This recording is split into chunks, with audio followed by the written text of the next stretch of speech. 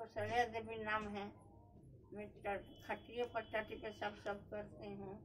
मैं बहुत परेशान हूँ। आप जो गाड़ी मेरा के दिए बहुत